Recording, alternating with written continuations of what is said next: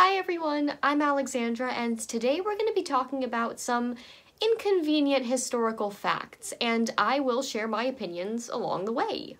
Most of you have already begun to deprogram yourself from the world in one way or another. But since some of the things I'll be discussing today are touchy subjects, I have to disable the comments. I was super nervous. Oh, right, I'm about to put it on YouTube. Where people are just mean to be mean. And I'm really sorry that I have to censor myself with what I say, so I will just be putting the words on the screen and just using different terms in general so that I won't get flagged by the bots. Like how sometimes using certain words in comments can also do. Let me say something. I may be out of line. Oh, yeah, no, please. Yeah, it's a free country. I mean, sort of. So here is a cheat sheet for the words that I'll be using instead of the words that might get me taken down. Brothermen, brothers, and brothermanry, the establishment, Z's, J's, and NZ's.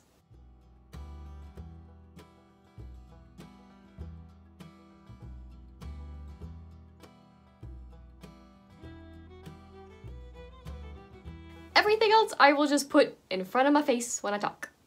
I've left links to the things that I discussed in the description below. This is going to be a long one, so hold on to your stress toys.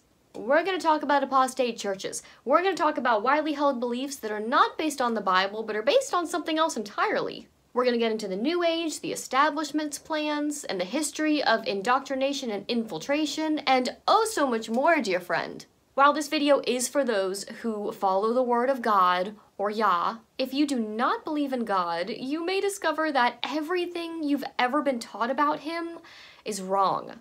So be warned. I personally do not follow any religion or church. I have just found over the years of research that the truths in the Bible hold up. Alright, friends, so how inconvenient is our history? Let's find out. We're going to build a chart together to unlock as we go. This chart will show how everything connects. Let's start at the top. Gadrael, the architect behind it all. In the first book of Enoch, in chapter 69, verse 6, it discusses the angels who came down to earth and says, And the third was named Gadrael. He it is who showed the children of men all the blows of death, and he led astray Eve, and showed the weapons of death to the sons of men, the shield and the coat of mail, and the sword for battle, and all the weapons of death to the children of men. Do we get it? He's kind of a murderer. And from his hand they have proceeded against those who dwell on the earth from that day and forevermore. You see, the suffix for the name Gadrael is important because El means of God. Lucifer is simply a Latin description, not a name. While teaching at the temple, Yahusha, or Jesus Christ, confirms the traits of Gadrael, Lucifer, when condemning the Pharisees. John 8:44. Ye are of your father the devil, and the lusts of your father ye will do. He was a murderer from the beginning, and abode not in the truth, because there is no truth in him. When he speaketh a lie, he speaketh of his own, for he is a liar and the father of it. Whoa, whoa, whoa, the father of lies? Isn't that kind of harsh? Yeah, well, not when you consider everything he's corrupted. It's basically like Lucifer sneezed and contaminated the entire world. In the Garden of Eden there were many trees, but only one, the tree of knowledge of good and evil, was forbidden by Yah, or God.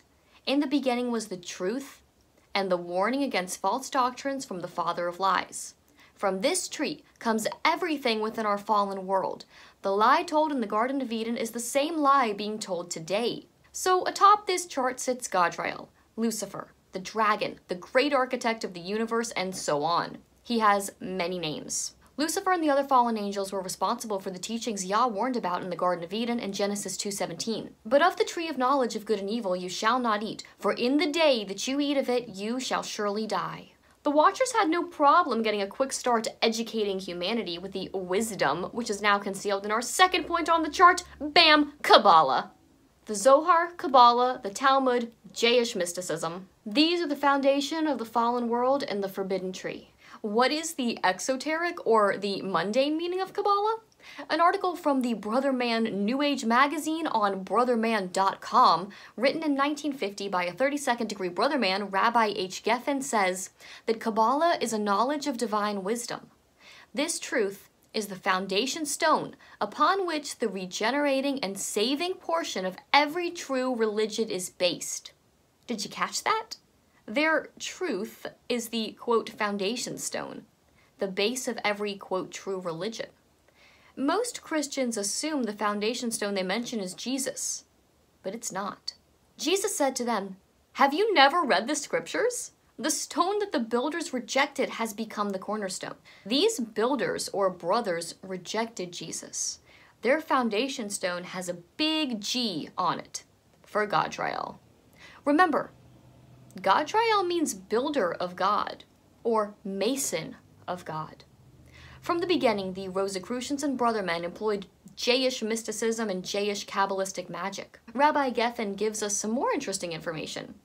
Our Brotherman's spiritual allegories are based on the Kabbalah, which is known to us moderns as the Kabbalistic doctrine. It must therefore be well understood that the Torah thus mentioned by the Talmud is not the written, but the oral law, or the Kabbalah, transmitted by tradition from generation to generation until collected by Simon ben Yochai and preserved in the volume of the Zohar. The systems of the Kabbalah and esoteric brothermanry are identical, and for this reason the brothers call their temple the Temple of Solomon. All the brothers' ceremonies have a Kabbalistic base. Let me be clear Jesus as the Messiah is incompatible with Kabbalah. Kabbalah sees Jesus as an intermediary between the soul and God, which they believe to be a mental construct. Kabbalah is thought to clear away this veil of separation. God is unknowable, void of love, and empty, yet you're supposed to find peace and oneness in that. In that sense, Buddhism and Kabbalah both pursue the same end and the same insight. So the Kabbalah and the Zohar are the fundamental books that most occult, magic, and satanic groups base their activities on. The Zohar is a group of books that are mystical commentary on the first five books of the Bible. So when you can't destroy the truth, commentate on it so that the original message is lost. The books include scriptural interpretations, theosophic theology, mystical cosmogony, and mystical psychology. All of those should raise red flags, but regarding theosophic theology, according to theosophy, the God of the Bible is a tyrant, and Lucifer is the one who came to rescue mankind from him. The Talmudic Pharisees had Jesus killed physically, and the Talmud, along with the Kabbalah and the Zohar, continues to metaphorically kill him in the hearts and minds of people every day. The most powerful governments, companies, medias, and businesses were infiltrated long ago by men who were adept in the occult knowledge of these books. The lie spoken in the Garden of Eden is the origin of all mystery religions. Lucifer is the father of Gnosticism. Gnosticism equates to salvation through knowledge. Quote, illuminated or enlightened people use what they call the Force. Gnosticism believes that there is a force that can be used for evil or good. Satan represents the use of the evil side, where Lucifer represents the good. But to me, this perfectly represents that this isn't good versus evil. This is bad versus evil. This force describes the two beasts of Revelation 13, the first and the second. White and black, light and dark. This force is the opposite of God, in 1 John 1 5, it says that God is light and in him is no darkness at all.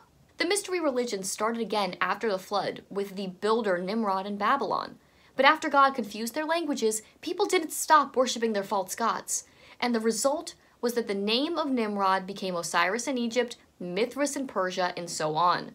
The mystery religions morphed into Egyptian paganism, rabbinic Jayism, Greek mythology, Hinduism, brothermanry, and the New Age. The gods of all these different cultures had all the same characteristics and attributes, they just had different names.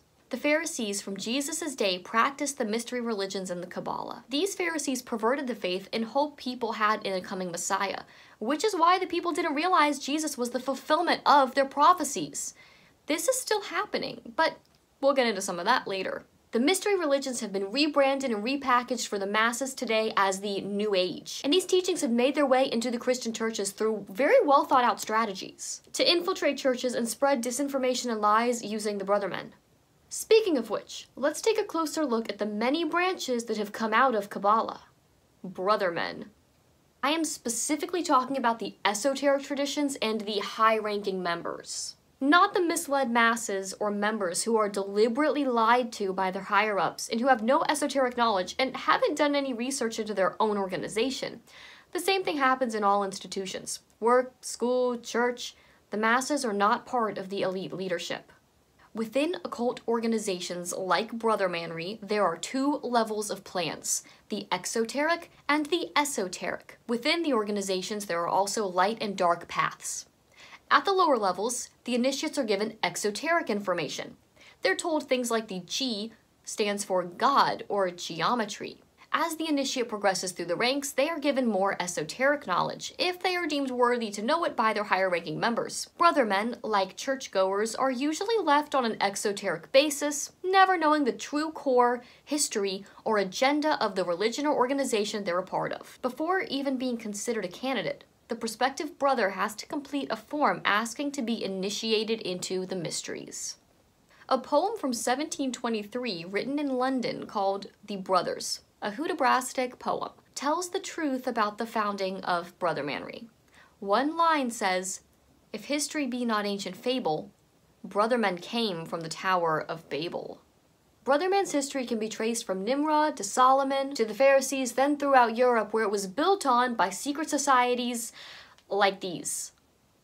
As well as the mystery religions like Mazdain to Mithraism, like witchcraft, Platonic humanists, and philosophers. Years after Nimrod, Ezekiel 8 15 through 16 seems to describe a brother man meeting of the tribe of Judah.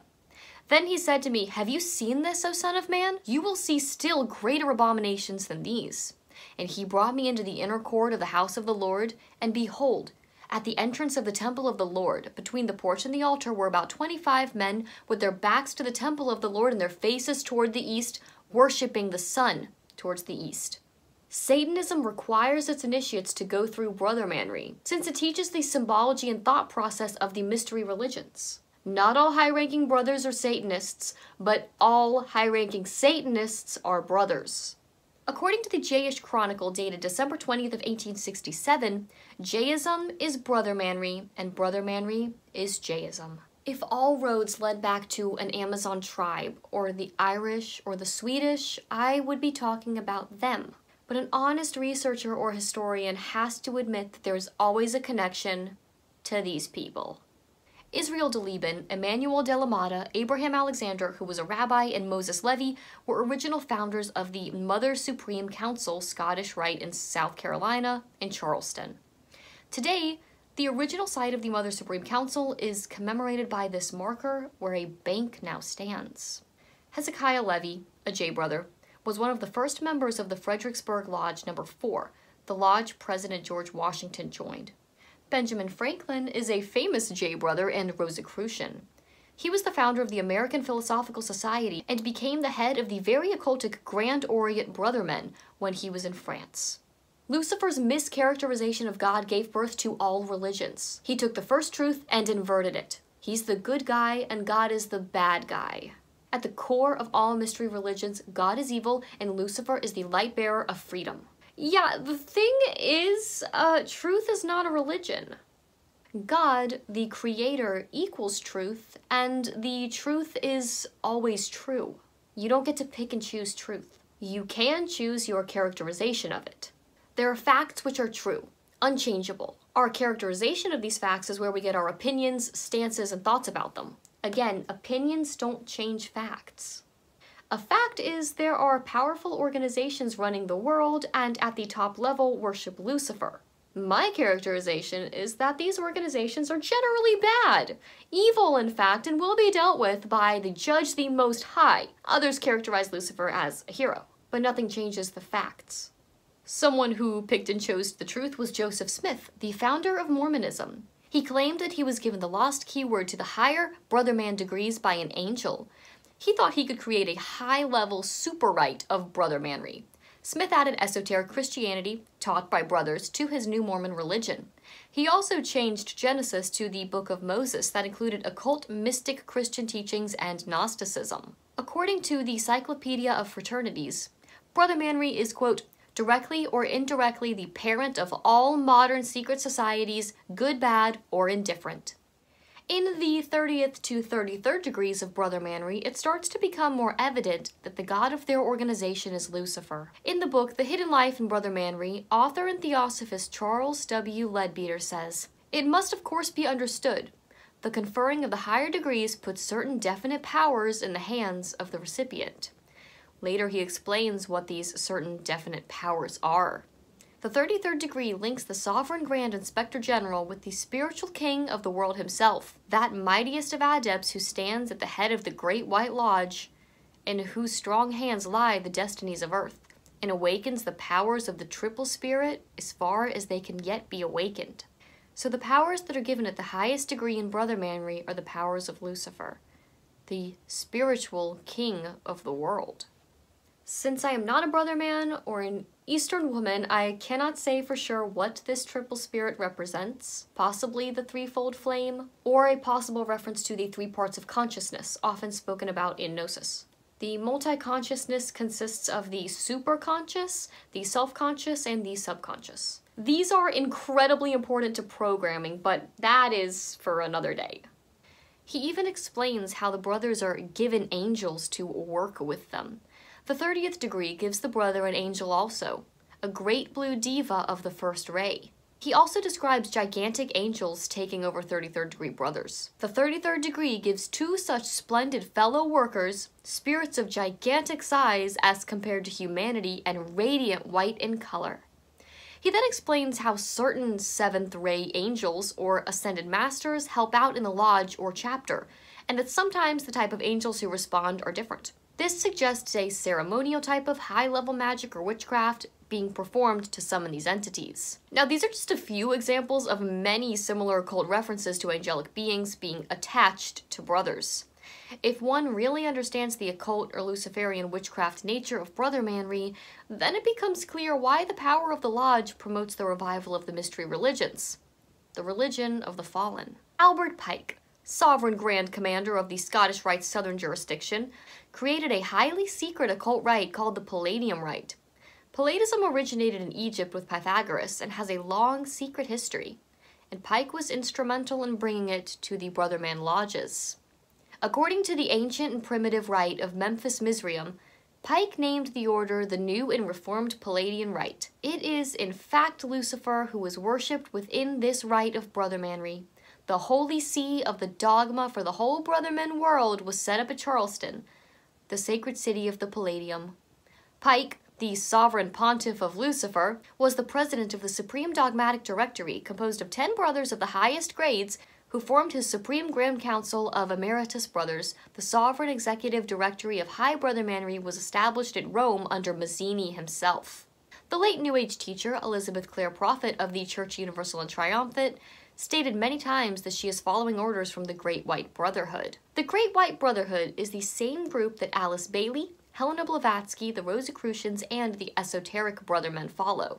That's Saint Germain on the right, the Seventh Ray. Brother book Ancient Mystic Oriental Brothery says, quote, Ancient wisdom religion is the thread soul on which are strung all the various incarnations and encasements of the religious life, begotten by that spiritual hierarchy, the Great White Brotherhood, in whose guardianship is the evolution of the human race. Brought forth from them, they, the guardians of the mystic tradition, give to those children of men who are strong enough for the burden a portion of the real teaching of the divine science, the science of the soul, concerning God and man and the wonderful relationship that exists between the two. The philosophy behind the mystery religions, Brother Manry, Theosophy, Gnosticism, and the New Age are all based on the same idea. Seek out the fruit of the tree of good and evil, for it shall make ye a god. God told Adam that if he ate from the tree of knowledge of good and evil, he would surely die. It would separate him eternally from God. But Gadrael, Lucifer, told Eve that if she ate of it, her eyes would be opened and she would be as gods. The first lie ever spoken is still believed today. Everyone in history has had to confront the exact same scenario as Adam and Eve. Choose the truth of God's wisdom or choose the tree of supposed knowledge. In other words, if it seem evil unto you to serve the Lord, choose ye this day whom ye will serve, whether the gods which your fathers served on the other side of the flood, or the gods of the Amorites, in whose land ye dwell, but as for me and my house, we will serve the Lord. In 1798, Scottish scientist John Robinson wrote in his book Proofs of a Conspiracy about the various people who used Brothermen lodges for deceitful purposes. In several places, he writes that the early lodges were used by the Jesuits. Side note, it takes 17 years to complete Jesuit training. At this time, also, the Jesuits took a more active hand in brothermanry than ever. They insinuated themselves into the English lodges, where they were caressed by the Catholics who panted after their re-establishment of their faith, and tolerated by the Protestant royalists who thought no concession too great a compensation for their services. At this time, changes were made in some of the symbols, particularly the tracing of the lodge, which bear evident marks of Jesuitical interference. By 1860, the Grand Orient Lodges established communism, which took them one step closer in the implementation of the establishment's goals. Jayish brother Karl Marx was the leader in the creation of communism. Giuseppe Mazzini of Italy was even more influential. Mazzini and Garibaldi led a revolution in Italy and installed a brotherman government. Napoleon, also a brotherman, was in charge of infiltrating France. He continued the revolution in the name of liberty, equality, and fraternity, one of the most recognizable Brotherman phrases. Brothermen controlled the Church of England, Italy, Germany, France, and other European countries in the 1800s, and through Jesuit leadership, brothers controlled the Vatican and the Catholic Church, possibly by starting the infamous P2 or Propaganda Due Lodge in the Vatican. The P2 Lodge having ties with the Mafia, being as Mazzini was the founder of both. Most researchers have come across the information about Albert Pike and Giuseppe Mazzini's letters about the world wars. They wrote that it would take three world wars to destroy the world's love for nationalism and to ensure the people would demand a one world government. The letter, written in 1871, was sent to various Brotherman lodges and explained how three world wars were to be created to bring in a one world government. One of the letters was displayed at the London Museum until 1977, where some claim it was moved to the British Library in London. The library claims the letter doesn't exist. If the letter doesn't exist, then somehow the wars played out exactly as this non existent letter predicted. Prior to the First World War, there was no sense of urgency by the people who designed this plan for these three world wars. The letter said the First World War must be brought about in order to permit the establishment to overthrow the power of the czars in Russia and of making that country a fortress of atheistic communism. The divergences caused by this agentur of the establishment between the British and Germanic empires will be used to foment this war. At the end of the war, communism will be built and used in order to destroy the other governments and in order to weaken the religions. The Brothermen were involved in the assassination of the Archduke Francis Ferdinand that touched off a chain of reactions. The goal was to create enough chaos and remove Russian Tsar Nicholas Romanov. Z, Vladimir Lenin, had created a workers' union called the Bolsheviks. After they executed Tsar Nicholas and his family, they began the Russian Communist Party. So the First World War played out exactly as Pike and Mazzini's letters said it would. The Second World War must be fomented by taking advantage of the differences between the fascists and the political Zs. This war must be brought about so that NZism is destroyed and that the political Zism be strong enough to institute a sovereign state of Israel and Palestine. During the Second World War, international communism must become strong enough in order to balance Christendom, which would be then restrained and held in check until the time when we would need it for the final social cataclysm. Check. Israel was created in 1948 with the help of the Rothschilds, England, and the Balfour Declaration. The NZs were used to exterminate the Hebrew Jays and replace them with Zs. The world now sympathized with the Jayish people, not aware that the Zs had infiltrated Jayism, and the Cabal was free to invade Palestine, claim it for Israel, and completely eliminate the last true Israelites. In 1961, an Orthodox Jay, Ben Hecht, wrote the book Perfidy, where he shows evidence that the Z and Reformed Jays sacrificed the Orthodox Jays of Europe and that the emigration bureaucracy of the Third Reich was run by Zs. The immigration officials made sure the Rothschilds and Reformed Jays got out of Europe, but the Orthodox Jays were abandoned. In 1985, Z. David Wyman wrote The Abandonment of the Jays and admits that the American Zs concentrated on the creation of the nation of Israel rather than try to save the Orthodox Jays in Europe. He writes The unavoidable conclusion is that during the H, the leaderships of American Zism concentrated its major force on the drive for a future Jayish state in Palestine. It consigned rescue of the Jays to a distinctly secondary position. Communism also became stronger because in 1949 China became a communist nation. They just celebrated their 70th anniversary. So far, the first two world wars seem to have accomplished the goals set out by Pike and Mazzini. When the public is distracted by things like war, scientists are usually carrying out the most depraved experiments. Since the Fallen taught the weapons and working of death, humanity has literally been caged, hunted, and experimented on like animals. Ancient writings of various cultures depict all sorts of forms of torture. Unfortunately, the scientists we often hail as heroes were nothing but devils themselves, or mad scientists. This section may be a little bit graphic for those who do not want to hear about bizarre experiments or surgical procedures, in the 1940s and 50s, there were plenty of Soviet scientists who were experimenting with all types of things that modern scientism says were pioneers for things like organ transplants. The point was not strictly medical. The point was to figure out how the physiology works so they could manipulate it as they see fit. They perfected nerve gas, torture techniques, and biological weapons. They wanted to bring the dead back to life and capture consciousness. The ultimate goal was control over creation, both physical and mental. Ilya Ivanovich Ivanov made hybrids of mouse rats, zebra donkeys, bison cows, and guinea pig rats. Hey, he even tried a few times to make a half human, half ape. There was Sergei Brukhonenko, who invented a primitive heart lung machine called the autojector. The most famous of his experiments were with severed heads of dogs, one of which was able to eat a piece of cheese for the onlooking audience.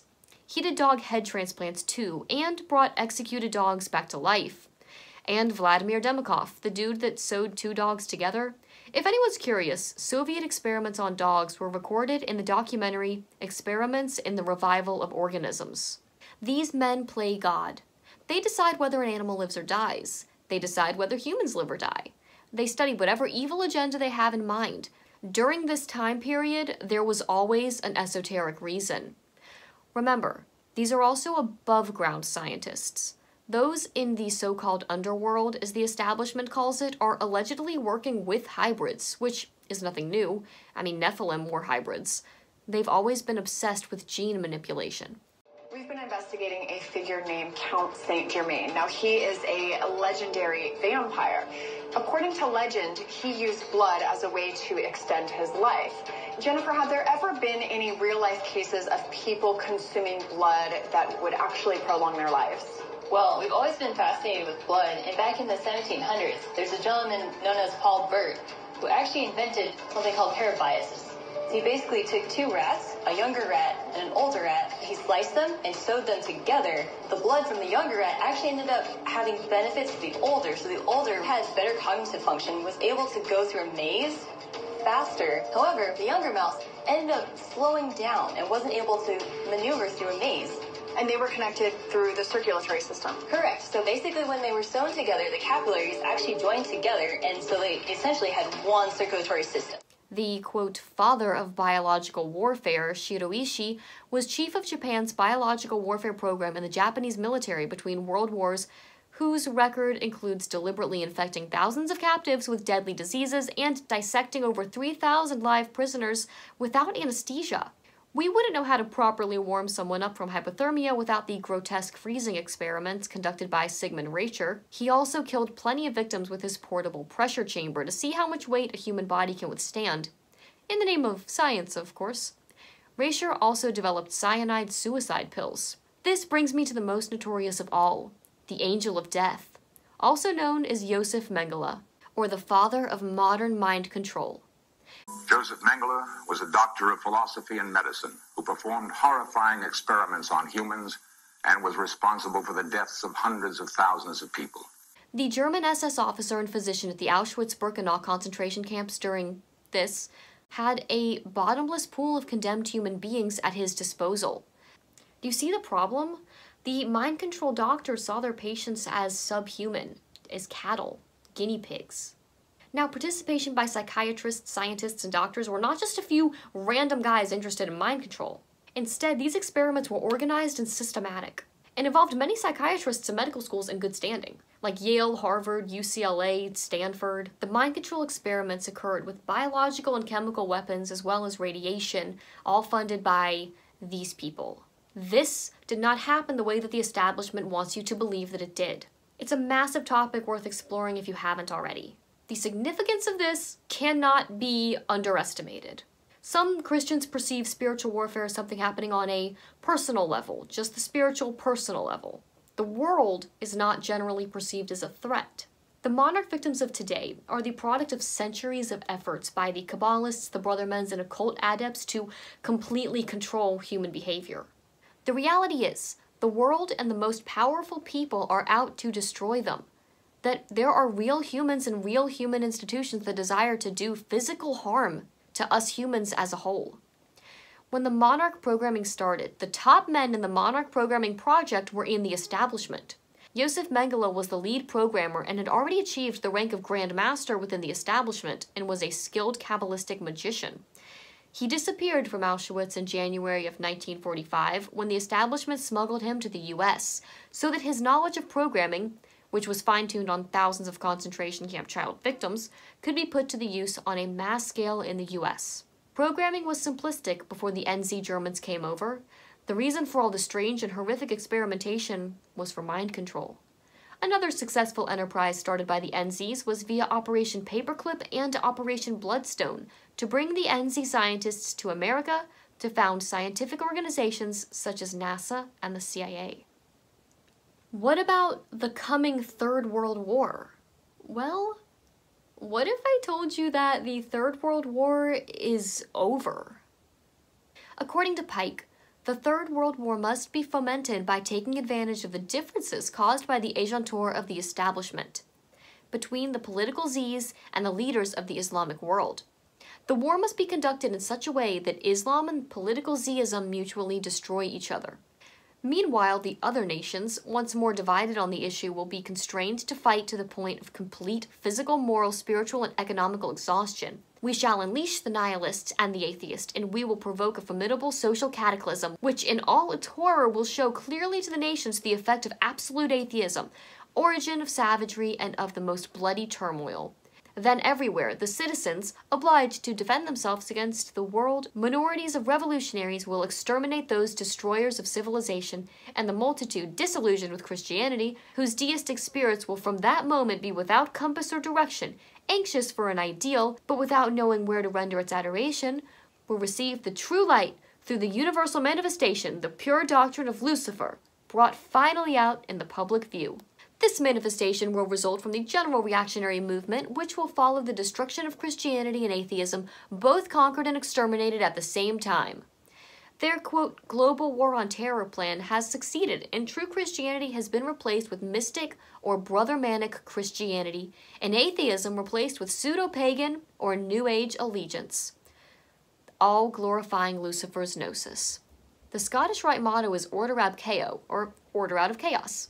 The two beasts of Revelation represent the right and the left, the dark and the light, white and black, bad and evil. They're part of the same checkerboard floor. The left eye, the right eye, same face. One of the main goals of Brother Manry is to return to a golden age, a millennial hope that depends on some type of messiah or king to rule. They believe in rebuilding Solomon's temple. The exoteric belief is that a physical third temple will be built in Jerusalem. But the true esoteric meaning that they know is that the temple is in us, our souls. The people who have shaped our reality know that that is truly rebuilding the temple by rebuilding humanity into their creation. A lot of people think that the Catholic Church is the one running the world and making all the plans, but they don't know how the CIA, the communists, Rothschilds, and the brothers are the ones running the Catholic Church. When Pope John Paul I suddenly died of a heart attack 33 days after his election in 1978, many believed it was because the brothers were not able to control him, so they got rid of him on his 33rd day. Prince Bernhard of the Netherlands and part of the black nobility had veto power over who became pope after the Second World War. These things indicate that the Catholic Church is controlled by a more powerful force. Brothers infiltrated and took over the Catholic Church.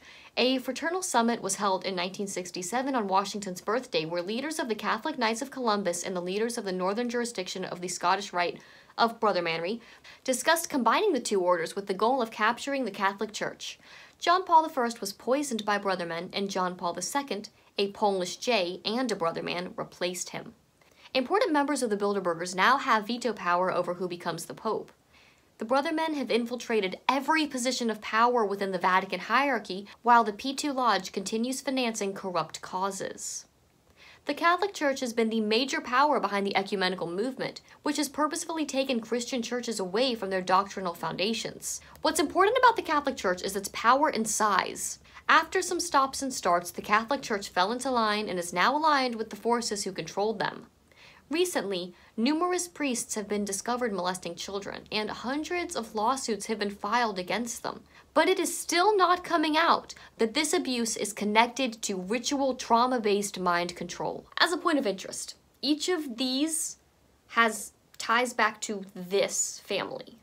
Now that we've laid the foundation, we can go a little bit deeper. Let's take a look at the daughter of Brother Manry, the New Age. Contrary to the popular use of the term, the origins of the New Age are as ancient as it gets. In 1957, the New Age leader, Brotherman, and Theosophical Society president, Alice Bailey, said, there is no dissociation between the one universal church, the sacred inner lodge of all true brothers, and the innermost circles of esoteric societies. She also wrote in her book Externalization of the Hierarchy that the three main channels through which the preparation for the new age is going on might be regarded as the church, the Brotherman fraternity, and the educational field. The establishment has the power to control who the experts are. Pay attention to who is in these top positions, who gets Rhodes scholarships, academic positions, media coverage, or is seen as an expert in any field. Look who gets their books published, their songs played, their clothes worn. Their people are often placed in prominent positions when thousands of better candidates are overlooked. For example, here's a clip of non-establishment YouTuber Anthony of 10 Second Songs.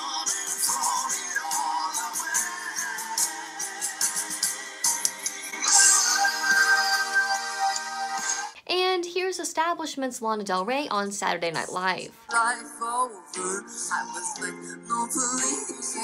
There is a power base the establishment creates by influencing who we think our experts are. The importance of distorting history at the very beginning is so everything from then on is built on a faulty foundation. The mind works to protect this framework at all costs, which is why so many suffer from cognitive dissonance and defend their tradition oriented beliefs instead of actual truth. The reason this rewriting of history is important is to hide events and examples that would expose the occult rulers of not just the US, but across the world. Who writes the history books? Who pays to keep them written as they want? In 1946, the Rockefeller Foundation admitted in their annual report that they are subsidizing corporations of historians to prevent anyone from rewriting history. However, they haven't destroyed any evidence or documents. It's just been occulted from the public. The truth lies just beneath the surface, but they know that few will look, fewer will go through their gatekeepers, and even fewer will put all the pieces together. Like how Maria Montessori, the founder of the Montessori system, has ties to the Theosophical Society. This inconvenient truth of rewriting history can anger people because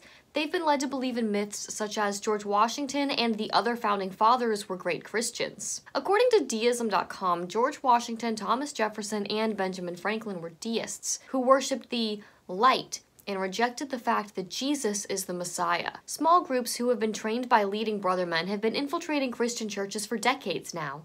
The main purpose was to realign existing churches with New Age thinking. In the book, The Secret Teachings of the Brotherman Lodge by John Ankerberg and John Weldon, the Educational and Historical Commission of the Grand Lodge of Georgia said, quote, Let us take a look at the number of great Bible classes for men which have been organized by the church. Many of these classes are being led by enlightened brothers. These laymen are bringing to the interpretation of the Bible many of the brother man's great revelations. Elizabeth Clare Prophet makes it clear she believes she is following orders from the Great White Brotherhood, which is the same group that Helena Blavatsky, Alice Bailey, the Rosicrucians, and the Esoteric Brothermen follow. The Brothermanic book, Ancient Mystical Oriental Brothermanry, from 1907 says, quote, The ancient wisdom religion is the thread soul on which are strung all various incarnations and encasements of the religious life, begotten by that spiritual hierarchy, the Great White Brotherhood, in whose guardianship is the evolution of the human race. This may all seem random, but all of these characters eventually connect. Helena Blavatsky started the Theosophical Society, sometimes called Co-Brothermanry, with the help of a Rosicrucian group as the primary sponsors. It was her belief that Lucifer was the savior of mankind and that the God of the Bible was the adversary of man, and felt that the name Satan described God better than Lucifer. Once the key to Genesis is in our hands, the scientific and symbolical Kabbalah unveils the secret. The great serpent of the Garden of Eden and the Lord God are identical. She is insinuating the secret of Kabbalah is that Lucifer is God. Blavatsky and the Theosophical Society see those believing in scriptures as fighting against divine truth, when repudiating and slandering the dragon of esoteric divine wisdom. This stuff has even made its way into children's shows. An episode of Arthur from 2017 shows the Tree of Life and tells the story of trying to make a golem, a mind controlled slave. Lucifer's mischaracterization of God gave birth to all the mystery religions. The Theosophical Society speaks of the second coming of Christ as Christ consciousness, of man's divinity returning to the human race.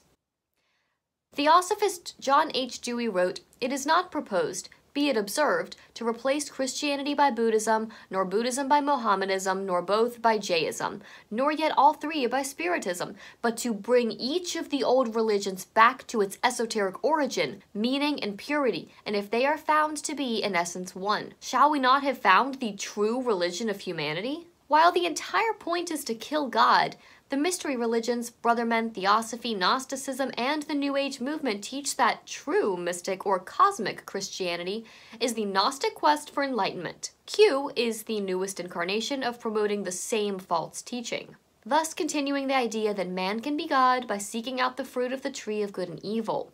This was the whole point of Pike and Mazzini's Three World Wars for God to be replaced with the God of Gnosis. Many have fallen for the evangelical twist to Q's posts and Trump's outward appearance, but it is nothing but mystic false teachings meant to bend the public into worship of the state. George Hegel, the German philosopher who popularized dialectics, said, The universal is to be found in the state. The state is the divine idea as it exists on earth. We must therefore worship the state as the manifestation of the divine on earth and consider that, if it is difficult to comprehend nature, it is harder to grasp the essence of the state. The state is the march of God through the world. Just because something sounds good does not mean that it is not a wolf in sheep's clothing. Most hear the term New Age and think of crystals or tarot cards or yoga, but that's its utmost exoteric form that infiltrated popular culture. I hope you've started to see it's much more complex than that.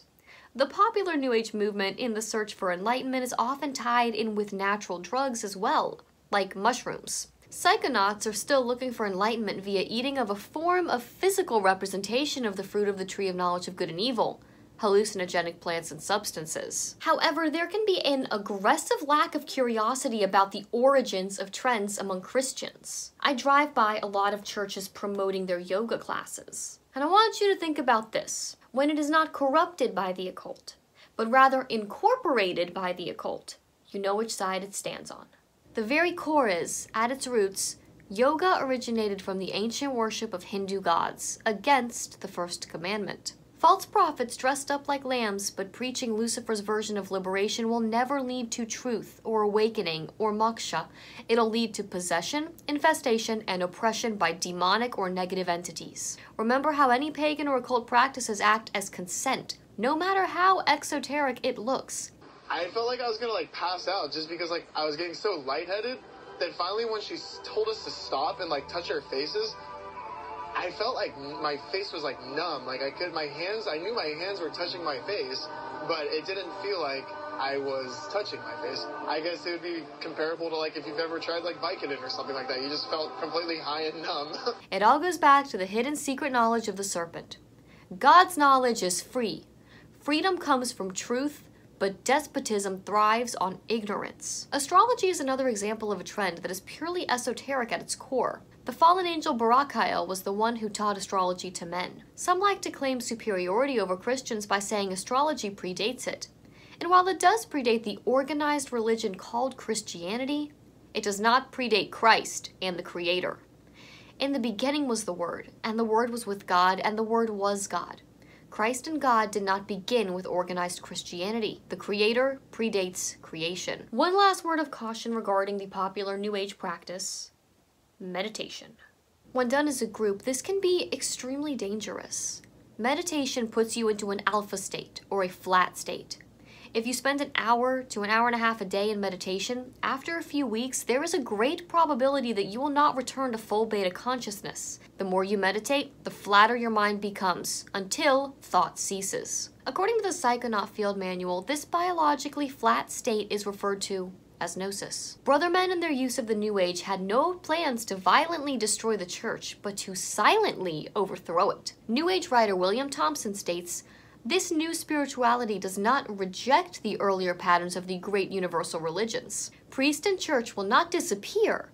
They will not be forced out of existence in the New Age. They will be absorbed into the existence of the New Age. Christianity has systematically been assassinated and replaced by the brother man's religion. True Christians are still being persecuted by these brothers. Why do I have to monitor what I'm saying? Why will I be taken down, my voice silenced, and my free will to express my beliefs taken away? I mean, people who expose these organizations don't generally have great track records, which is why I really appreciate you guys keeping me in your prayers. That means a lot. The truth is being persecuted, not nominal Christians who sit in a building and listen to trained pastors who were taught at their Brotherman run seminaries. The truth gets shut down at every turn, but lies looking like truth get promoted and followed. Why are we, the truth speakers, the minority? Because we are like a drop in a wave. Because we metaphorically have to walk miles and miles just to find another true believer. We stand for truth, and lies hate nothing more than being exposed. This is the reason that the McChurches will never be shut down. They're not a threat. Most are brothermen run organizations, and Satan will not divide his own kingdom. He may use it to reach a synthesis, but he will never destroy it. In monarch programming, there are two kingdoms the kingdom of Satan, which is powerful and meant to be feared, that represents the world, and the kingdom of light, not shown to be good, powerful, or intelligent, but acts as a place to go to escape the fear and trauma of Satan's kingdom. These two kingdoms in programming act as the brothers want the church to be a safe place for the mind to recuperate from an overwhelmingly terrifying world. But it's not intended to be a threat or have any power over Satan's kingdom. A lot of Christians treat church the same way. What can God do for me, not what can I do for God? A place to socialize, to see and be seen, to to go for the sake of feeling cleansed, okay?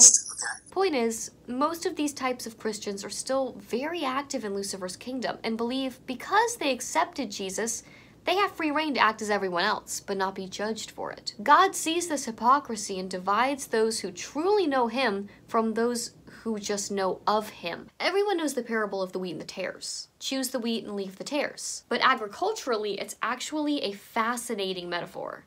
Wheat is a grain, or a cereal type plant that is processed for food.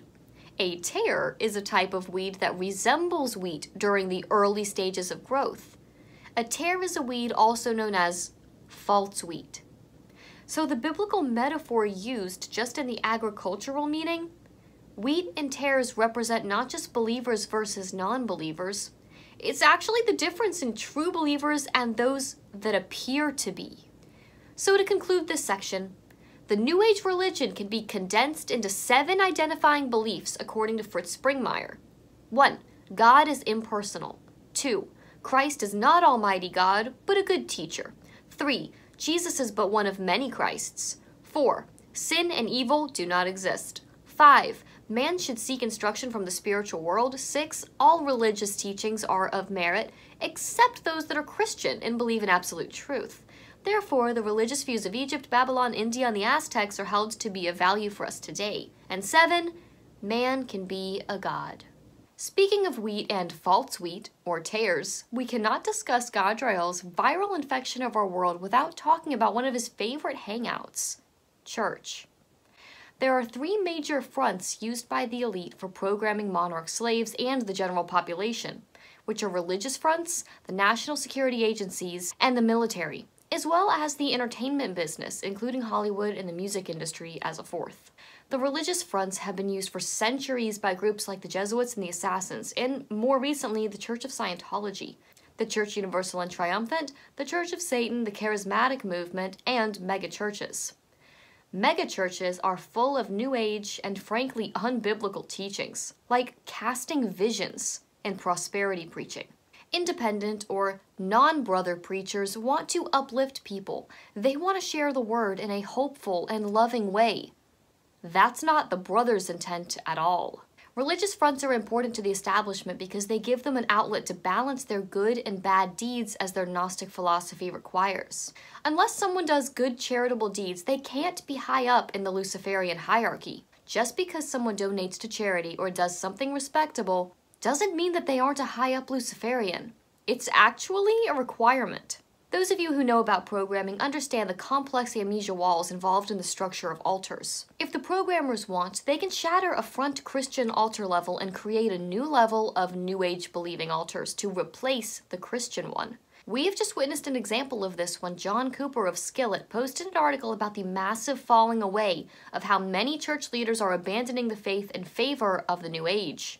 Even though our world and those who run it promote white witchcraft in the form of the feel good New Age, the Bible is clear that all witchcraft is wrong.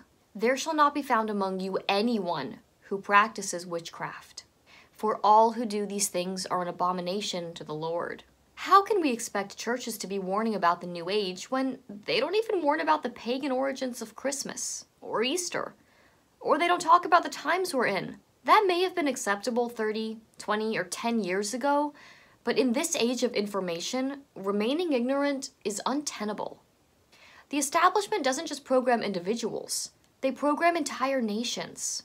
The most influential people in the establishment are the very ones who groomed the world to believe that Billy Graham was a man of God. The image the establishment created of Billy Graham is not real. The same establishment that created Billy Graham is the one who put In God We Trust on the Federal Reserve's money. God is capitalized because it's an acronym guns, oil, drugs. But it's more than that. It's the God of this world. After decades of cooperation between almost all Christian churches worldwide through organizations like the National Council of Churches, the Billy Graham Crusades, and the Promise Keepers, Orthodox, Catholic, Protestant, and non denominational churches can all be thought of as one huge organization. The infiltration and control of the Christian religion was one of the easiest tasks for the establishment since they are considered soft targets by the intelligence agencies. Non believers look to the hypocrisy of churches and these false teachers and conclude that God must be evil and bad, or even just a fictitious idea. But they never stop and think about Lucifer's role, his free will, and the army of people he has doing his work. Throwing the true scriptures out because of the false scriptures of Christian Zism is an erroneous logical fallacy that happens all too often. An honest researcher will look into these fallacies and get down to the bottom of it realizing the brilliance and awe of the one true God, and the unimaginable lengths that Lucifer will go to to convince the world otherwise. Look, I get it. It's not cool to follow God. I know the way the world wants us to feel about him, but being treated badly by hypocrites and people who claim to know him is no excuse for not getting to know him yourself. That's like saying you'll never eat vegetables because you hate vegans. God isn't the God the church created. He isn't full of hate and legalism. God is truth, and the truth is love. It is through His truth that we're set free. If Lucifer can't destroy the truth and erase God, he can make us forget the true teachings by replacing them with charismatic leaders who teach their own doctrines, like Billy Graham. Although many may have been aided in their relationship with Christ through the exoteric facade of people like Graham, the reality of these leaders is very dark. Billy Graham became a nationally known figure in 1949 thanks to multimillionaire William Randolph Hearst's influence and financial backing. All the presidents and many leading politicians worldwide have been close friends with Graham. Strategic control and execution of the dark or light world order succeed by placing key 33rd degree brothers at the top of political, religious, and economic institutions. Billy Graham's first crusades were funded by people in the establishment the Vanderbilts, the Rockefellers, the Whitneys, and Chase Manhattan Bank. William Randolph Hearst's media empire was responsible for publishing glowing reviews of his crusades. Just because Billy Graham does good things or preaches the gospel does not mean he is not part of the network or the establishment. Remember, Gnostic philosophy requires them to do good deeds to offset their bad ones. Some of the greatest philanthropists are also some of the highest ranking Satanists. Billy Graham publicly supported the ecumenical mission of the World Council of Churches and the National Council of Churches. Their mission is to combine all churches into one unity. Billy Graham did more than anyone to bring about the one world church. Christians have been conditioned to believe that Billy Graham is a great prophet of God by the establishment media, which, in reality, he was a 33rd degree brother man who had many angelic attachments and was given an honorary knighthood by the Order of the British Empire. He was allowed to be with every president from Truman to Trump and was called America's pastor. I mean, do you really think that the establishment would allow presidents and powerful people like Billy Graham? If there was any danger, he would actually bring someone to Christ? No. They'd get rid of him one way or another, they wouldn't be praising him. The same way that the Pope is venerated and loved by the world, whereas the truth and the real Jesus Christ and his teachings are trampled on and despised. Graham's crusades were like concerts. Most of the people there were his fans. People who've never heard of a band's music usually don't show up. Most of the attendees were already Christians, and most decisions were for trivial things like quitting smoking. After a crusade in Scotland, for example, churches there noticed a decline in membership, not the promised increase by the crusade staff.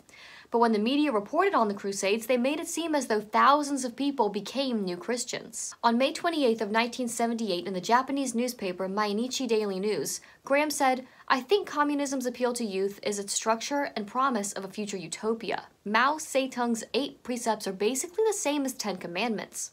In fact, if we can't have the Ten Commandments read in the schools, I'll settle for Mao's precepts. Jesus said, Woe to you when all men speak well of you for so did the fathers to the false prophets. In terms of a paper trail, we have the following. Billy Graham's books consistently refer to basically only brothers. Billy Graham endorsed the Brother Manic Demolay program of Youth as God's Work. This endorsement by Billy Graham is in a Brother Man book that is used to educate people about the craft. That book is The Clergy and the Craft, and it says that the people who are quoted in it are brothers. His closest associates were brothermen, like David M. McConnell, who was the director of the Billy Graham Evangelistic Association and a U.S. ambassador to the United Nations. The Southern Baptists, of which Billy Graham was a member, are controlled by the Brothermen. During the 1920s, the Southern Baptists joined the Brothers by the millions. The establishment made it a top priority in the 1940s and 50s to infiltrate churches. After an initial 20 year period of intense infiltration, they could count on their members to generationally continue their presence and influence. None of the Southern Baptist Convention's presidents have opposed Brothermanry. Billy Graham gave away his association with Brothermen with his prominent false teaching in Brothermanry of inclusivism, the belief that followers of non Christian religions will also be saved. Tell me, what do you think is the future of Christianity? Well, Christianity and being a true believer, you know, I think there's the, the, the body of Christ, which comes from all the Christian groups around the world or outside the Christian groups. I think everybody that, that loves Christ or knows Christ, whether they're conscious of it or not, they're members of the body of Christ.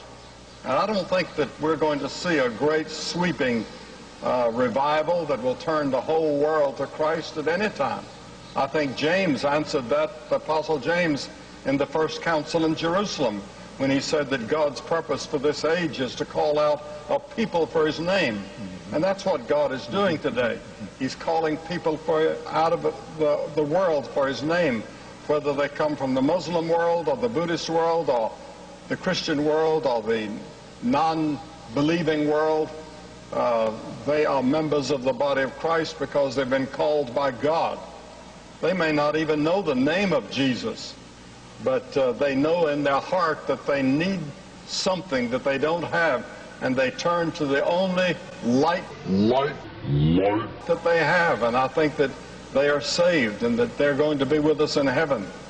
This is fantastic. I'm so thrilled to hear you say that. There's a wideness in God's mercy. This is false. In Luke 13:24, Yahusha, Christ says, "Strive to enter through the narrow door, for many, I say to you, will seek to enter and will not be able. And again in Matthew 7:13, enter through the narrow gate, for wide is the gate and broad is the road that leads to destruction, and many enter through it. But small is the gate and narrow the road that leads to life, and only a few find it.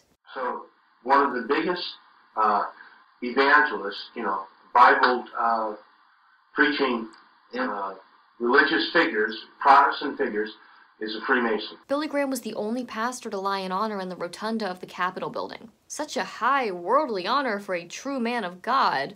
Or was it honoring a brother man that had completed his mission? There's a lot more to Billy Graham than meets the eye. I've left a link to an article about Billy Graham and his ties to SRA with links for you to research in the description if you're interested. The establishment created Billy Graham and he started the Evangelical Revival, or another Great Awakening, around the world.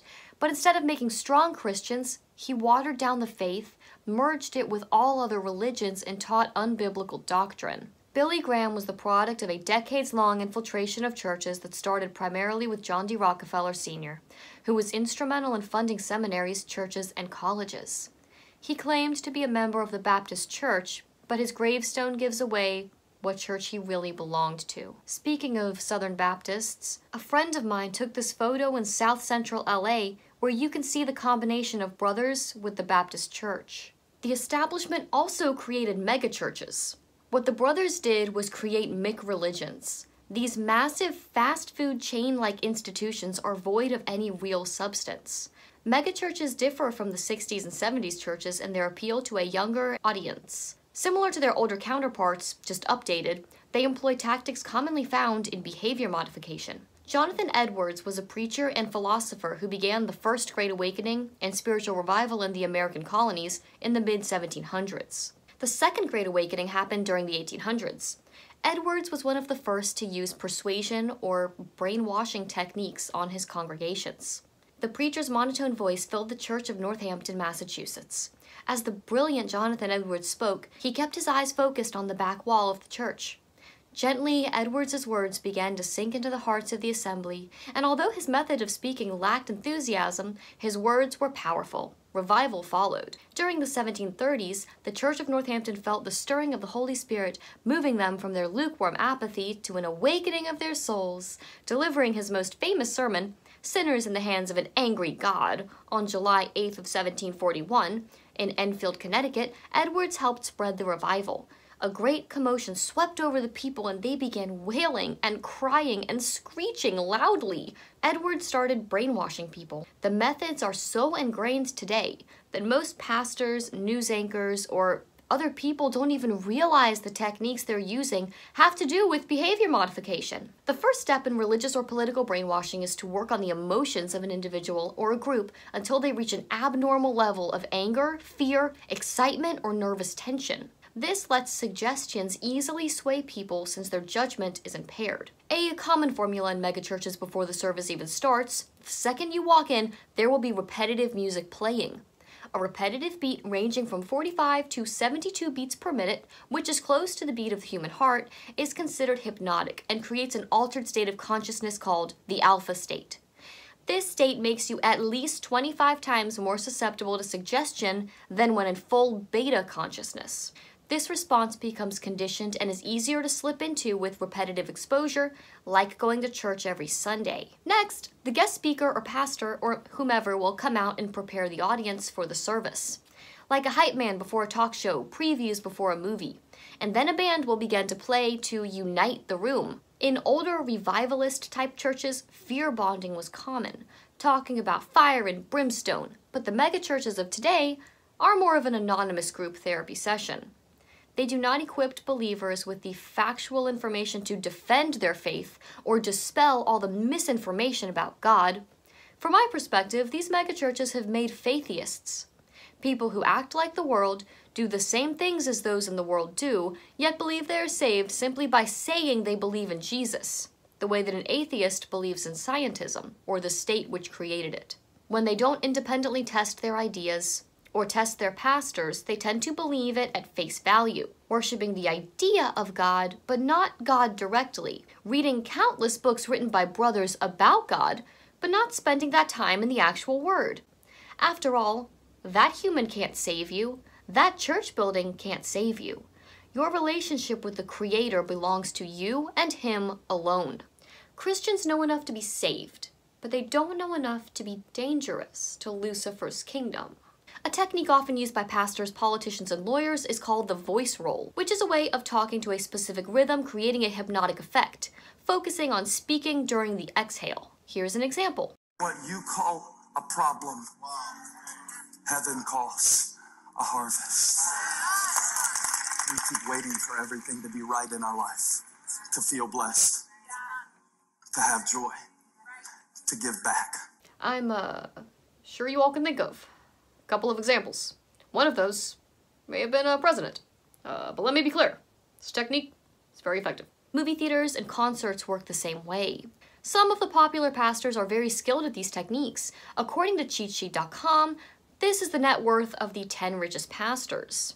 Joyce You Are Little Gods Meyer is worth 8 million. TD Prosperity Gospel and Positive Thinker Jakes is worth 18 million. Franklin Voodoo Donuts Graham is 25 million. Rick the Purpose Driven Warren at 25 million. Billy Brotherman Graham 25 million. Creflo That's My Real Last Name Dollar at 27 million. Joel Threefold Flame Osteen at 40 million. Benny Falls Healer Hinn at 60 million. And Pat Lance Paul Robertson at 100 million. And the Master of Prosperity Gospel Preaching Kenneth Copeland is worth a ridiculous $300 million. Yahshua or Jesus had some strong words for preachers like these. The Pharisees, who were lovers of money, heard all these things and they ridiculed him. And he said to them, You are those who justify yourself before men, but God knows your hearts. For what is exalted among men is an abomination in the sight of God. Be careful who teaches you.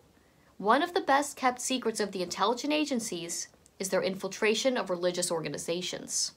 You know, take it all the way back into the Old Testament and the Muslim and you, we actually serve the same God. Allah to a Muslim, to us, Abba Father, God. I realized you had built a world as a leader that you liked to live in. And his father, Frank Houston.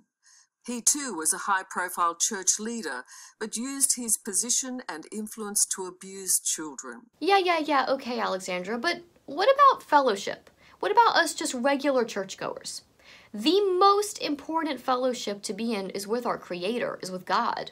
Second is with other born again believers. And if you're a social person, then maybe church can be helpful. But there are plenty of other ways to meet up with other believers. I mean, Matthew 18:20 says, "For where two or three are gathered together in my name, there I am in the midst of them." Small groups are great since everyone knows who's leading them. I don't have enough time here to do an expose, but look at this. I went to get this picture, and on BibleGateway.com, they say, Don't miss our free C.S. Lewis daily email. C.S. Lewis was a practicing witch, and his works are full of the mystic symbolism I've been talking about. This is exactly what I mean by places appearing to be Christian actually pushing the mysteries. You feel like because Bible Gateway supports C.S. Lewis, he must be safe. He is not. According to his own autobiography, Surprised by Joy, Lewis says he abandoned his Anglican faith at age 13 due to the influence of a school mistress who was involved with theosophy, Rosicrucianism, and spiritualism. He developed what he called a lust for the occult, saying, It is a spiritual lust. Like the lust of the body, it has the fatal power of making everything else in the world seem uninteresting while it lasts. He also said that he was strongly influenced by George MacDonald, who was a Universalist. MacDonald's book, Lilith, is based on the Talmudic teaching that Adam was married to a demon named Lilith before he married Eve. By the end of MacDonald's book, Lilith is redeemed, and Adam says that even the devil will eventually be redeemed. Back to megachurches. They are part of a centuries long plan to stamp out true Christianity, and the people who don't follow this new age pseudo Christian mysticism. The occult groups that make up the establishment were the ones responsible for popularizing and infecting churches with false doctrines, like Christian Zism and the idea of a third temple. The landmass known as Israel is a Z state, created at the expense of the Hebrew Jays, after this, and has no relation to the Israel of the Bible. One of the lies that has crept in is believing that a third temple will be built in Jerusalem, reintroducing sacrifices and bring in the Jewish Messiah, who Christians wrongfully think is a human called the Antichrist. Some Christians think they don't have to worry about it because they're going to be secretly raptured. The idea of blood sacrifices being restored at a temple is a slap in the face to Jesus and his finished work on the cross. Christians who believe this are called Christian Z's because they have been deceived by their pastors who were taught under the Z funded Brothermen run seminaries. This idea is part of a relatively new philosophy that has infiltrated Christian churches called dispensationalism. These pseudo scriptural ideas the brothers are introducing into the churches include unquestioned Christian support for the state of Israel. The primary denomination pushing these doctrines are the Southern Baptists. but many have adopted these ideas by now, regardless of denomination. As I said, during the 1920s, the Southern Baptists joined the Brothers by the millions. As an example of Baptist doctrines, the Encyclopedia of Southern Baptists, Volume 4, states the millennial kingdom will be predominantly Jewish with headquarters in Palestine and temple worship in Jerusalem. Brothers have succeeded in infiltrating the churches and changing Yahusha, Jesus' teachings.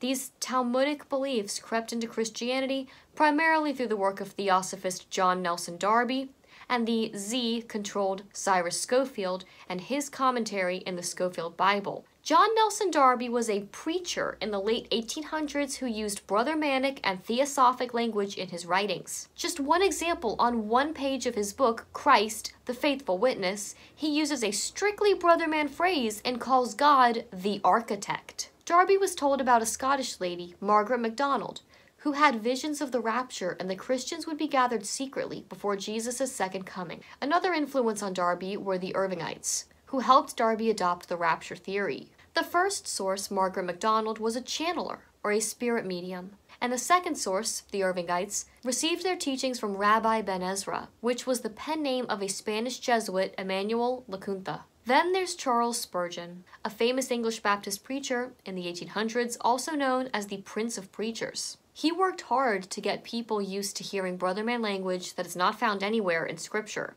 There will be nothing there that is trumpery or temporary. Everything there is the best of the best, most suitable for the inhabitants, and most glorious to behold. The very streets are paved with gold, exceeding rich and rare. The best builders of earth cannot be compared to the great builder above, the eternal architect, the everlasting brother man who has built those many mansions where his saints shall dwell forever. Another late 1800s preacher was Cyrus Scofield a washed up Kansas lawyer who had served as the U.S. District Attorney for Kansas but was forced to resign due to scandal and questionable practices. Z. Samuel Untermyer found him through a network of contacts in the Jayish Theological Seminary. Untermyer was given the job of injecting Jayish Z beliefs into Christianity, thus creating Christian Zism or the people who, quote, stand with Israel. Samuel Untermyer introduced Scofield to Z and socialist world leaders. Even with Scofield's shady past, a criminal record, and the fact that he had never been to seminary, the Z's were able to control the press, do some public relations work, and along with their international network, he became one of America's leading theologians. Schofield introduced the idea of dispensationalism, which includes the rapture and a rebuilding of the Third Temple, through his commentary in his Reference Bible, which was printed by Oxford University Press in London, which is owned by Brotherman. The origins of dispensationalism can be traced back to a channeler, a Jesuit priest, a theosophist, a washed up lawyer, and a Z organization bound and determined to inject Talmudic beliefs into Christianity. Since the false teaching of dispensationalism began, religious leaders like Oral Roberts, Hal Lindsey, and 33rd Brother Man and Southern Baptist Billy Graham, and David Jeremiah have promoted the secret pre trib rapture and the physical third temple ideas. Dispensationalism also teaches that history is divided into seven periods or dispensations. I'm sure the similarity of the coloring in the seven dispensations and the seven chakras is completely coincidental, but I digress. According to the Baptist Press, in America, the Moody Bible Institute, the Bible Institute of Los Angeles, now Biola University, and Dallas Theological Seminary played important roles in spreading dispensationalism. Gradually, other schools and even entire denominations embraced the system. Adrian Rogers, Charles Stanley, and W.A. Criswell were among the most prominent Southern Baptist dispensationalists. Although dispensationalism likely is the most popular eschatological position among Southern Baptists today, Garrett noted that it was a new development in the 19th century with no antecedent in the Baptist past.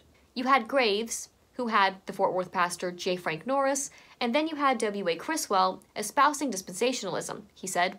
But nobody back behind that period was at all inclined. And I would argue the reason is because it didn't come before the 19th century in Britain. After Christ ran the people who were selling ox, sheep, and doves out of a temple with a whip and overturned the money tables, the Jays said to him, What sign do you show us for doing these things? Jesus answered them, Destroy this temple, and in three days I will raise it up. The Jays then said, It has taken 46 years to build this temple, and will you raise it up in three days? This dude is crazy. But he was speaking about the temple of his body. And in Acts 17:24, the God who made the world and everything in it, being Lord of heaven and earth, does not live in temples made by man, nor is he served by human hands, as though he needed anything, since he himself gave to all mankind life and breath and everything. Yah does not live in a temple. All sacrifices were stopped when Jesus died and rose again. He is the ultimate redemption for sin, and he is our way to salvation the only way to salvation. This third temple idea is blasphemy and is based on a misinterpretation of the 70 weeks of Daniel. This is the dispensationalist theory. Then he, the Antichrist, a human Antichrist, mind you, shall confirm a covenant or a peace treaty with many, Israel, for one week, seven years. But in the middle of the week, after three and a half years, then he, the Antichrist, shall bring an end to sacrifice and offering, the tribulation temple sacrifices and offerings. Yahusha, Jesus, is the one who was cut down after three and a half years and ended sacrifice. This theology is a gross misinterpretation of Daniel and teaches that Jesus is the Antichrist. There is only one religion that believes that the mysteries. Brother men are the ones who have looked forward to the Jayish goal of rebuilding the Jayish temple. However, they know the temple is in us, our hearts, which they call Solomon's temple. Animal sacrifices are nothing compared to what the Luciferian cults do on Friday and Saturday nights across the United States and across the world in covens. They also meet on the many satanic holiday days. Over 300,000 covens exist in the United States alone, each having 13 or more members. A black prince, or a black satanic magician, once estimated that 40 to 60,000 satanic human sacrifices occur just in the US yearly. Then there's the issue of monarch slaves. Worldwide, there are people whose free will has been taken away by Luciferian programmers. Those of you who've watched Lucifer's Playground know exactly what I'm talking about. But one satanic ritual abuse survivor, Katie Groves, was born in Central Texas into a child snuff ring run by the CIA called Uncle Sam's Snuff Factory, or Genocide Factory, due to its participation in the systematic extermination of children of color. My name is Katie Groves, and I am a survivor of the child snuff industry. This video is about my experience growing up in a child snuff ring known as Uncle Sam's Snuff Factory. This ring was located in central Texas. The Snuff Factory, also known as the Genocide Factory, is the very literal definition of hell on earth. Indeed, America is not the wonderful, free place we were taught it was as kids. These examples hardly stand alone. There are countless underworld activities going on in every corner of the earth. If that is not an abomination, I really don't know what is. Churches should be the first to expose the reality of ritual and satanic ritual abuse and help victims, yet they remain silent. Or worse, they are some of the biggest perpetrators of human and drug trafficking. Speaking of sacrifices and the god of sacrifice, Moloch, Acts 7 38 through 43 documents the Israelites' apostasy in the desert, and Yah calls them out. Yea, he took up the tabernacle of Moloch, and the star of your god Remphan, figures which ye made to worship them, and I will carry you away beyond Babylon. The star of Remphan is an occult star, not a reference to King David. David never had a star. It is, however, a symbol used by King Solomon. In verse 42, it says, Yah gave them up to worship the host of heaven, the fallen angels. Not long after, we witness King Solomon's apostasy. Yah, or God, warned him not to marry foreign wives, but Solomon did anyway, and started worshipping their gods like Ashtaroth and Milcom, and Solomon did evil in the sight of the Lord, and went not fully after the Lord, as did David his father. Solomon built altars to Chemosh, Moloch, and did as his wives did, burn incense and sacrificed unto their gods. Solomon is revered by the brothermen and venerated by all modern occultists. Even the priests, the heads of the house of Jacob, are called out for their apostate practices. Who also eat the flesh of my people and flay their skin from off of them, and they break their bones and chop them in pieces, as for the pot and his flesh within the cauldron.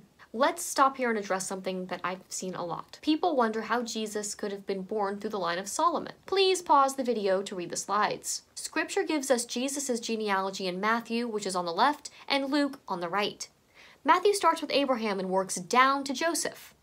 Luke starts with Joseph and works his way down to Adam. Both genealogies agree until we get to King David. Matthew says David begot Solomon, but Luke says David begot Nathan. After that point, the genealogies are completely different, meaning They can't both be for Joseph.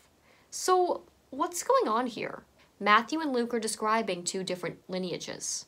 Matthew follows the line of Joseph, and Luke seems to follow the line of Mary, who is the only blood relation to Jesus.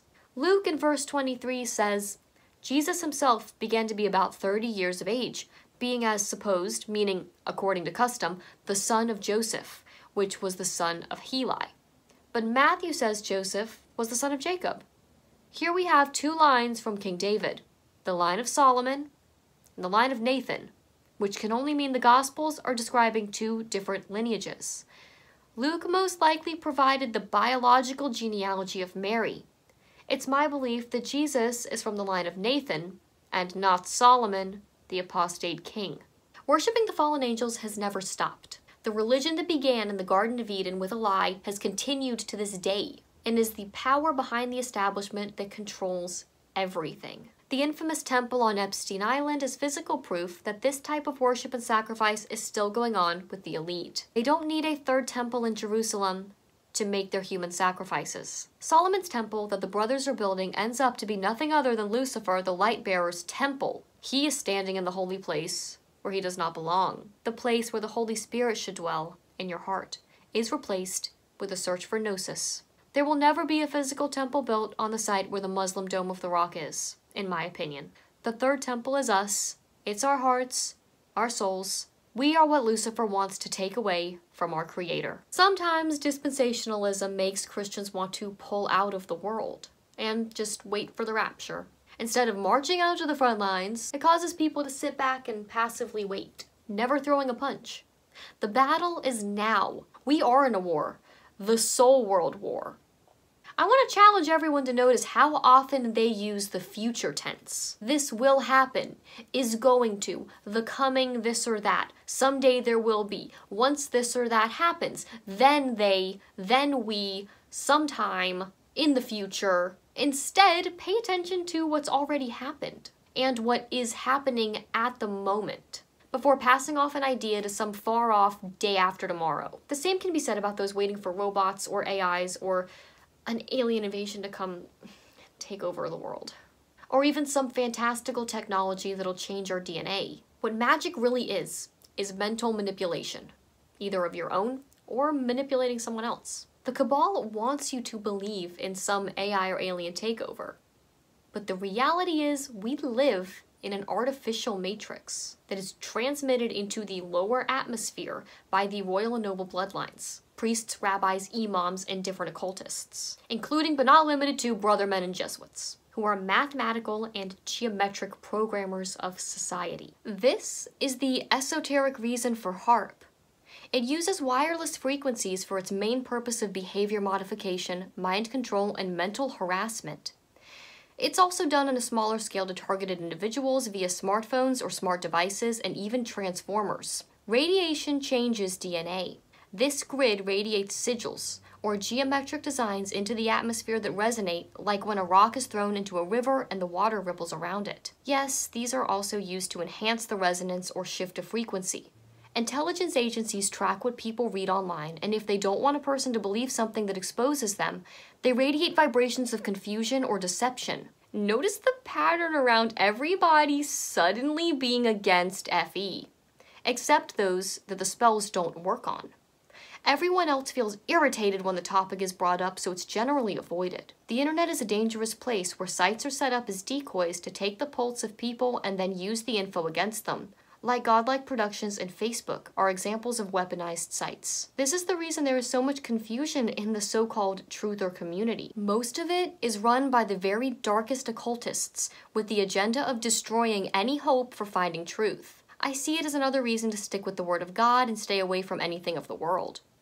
I realize me, a stranger on YouTube, is telling you that, but I'm trying to share what I've learned on my journey.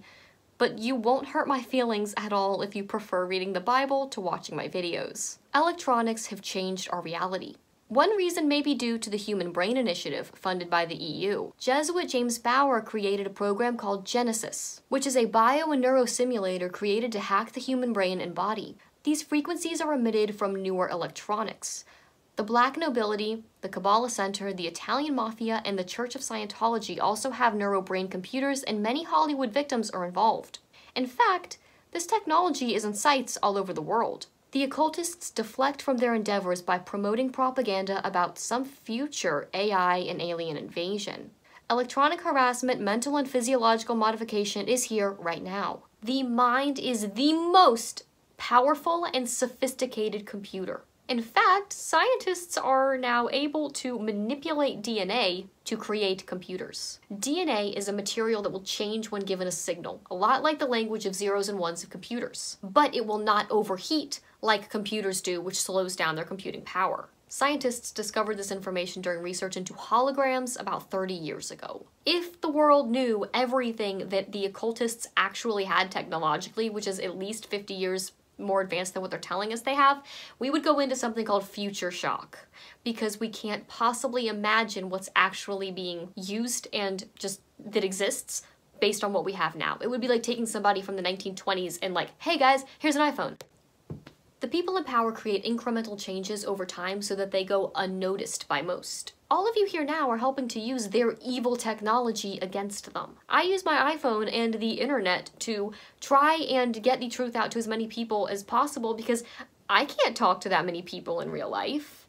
And you guys who mirror my videos and share my videos and stuff, you're making me into a virus, which is awesome because we're infecting Lucifer's kingdom. It's great. So everybody out there, keep making your memes, keep making your shirts, everybody keep making FE proofs and do everything that you can. Let's just be viruses. It may sound crazy to think the thoughts and intent or the will of these few occult families and groups are transmitted or resonating through our atmosphere.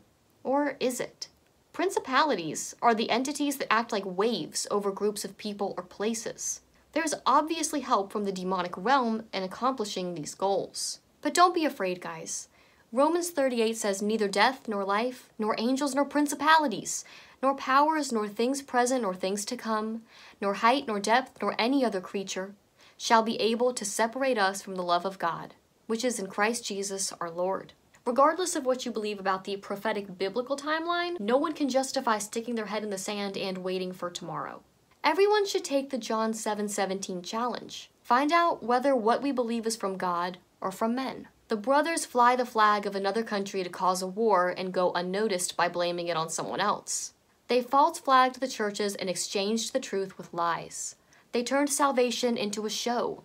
Walk down an aisle, say a prayer, sing a song, shake a brother man preacher's hand, follow the cool people on Instagram. The brothers joined churches, sat on the boards, monopolized the seminaries, and caused the entire true religion of Christianity to be replaced with an impostor, mystic Christianity, or Christian Zism.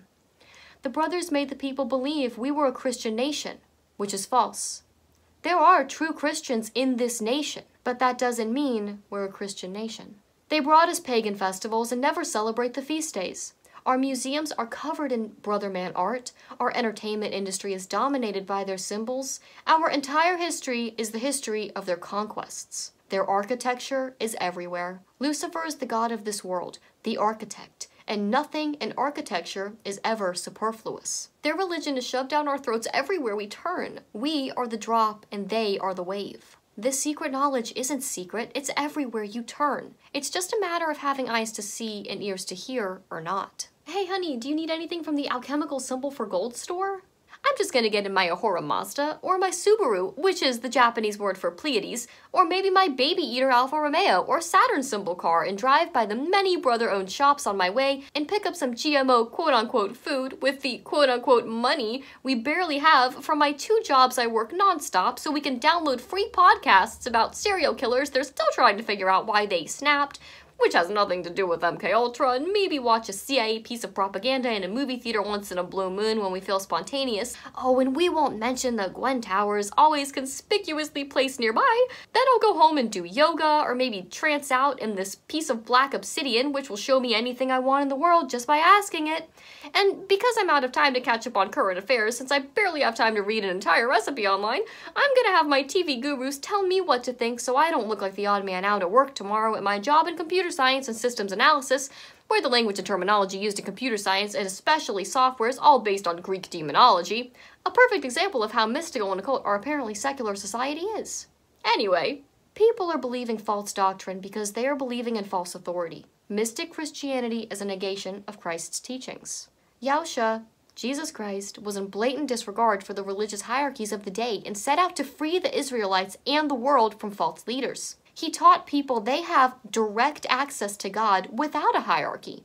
The New Age is the opposite of those teachings.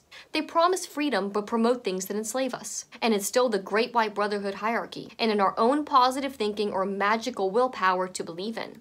They give us gurus to do thinking for us. Christ showed the people that they have permission to have access to God, but in India, Babylon, Greece, and Egypt, the religious leaders were requiring initiations into their mystery religions. These leaders acted as guardians of this mystery knowledge.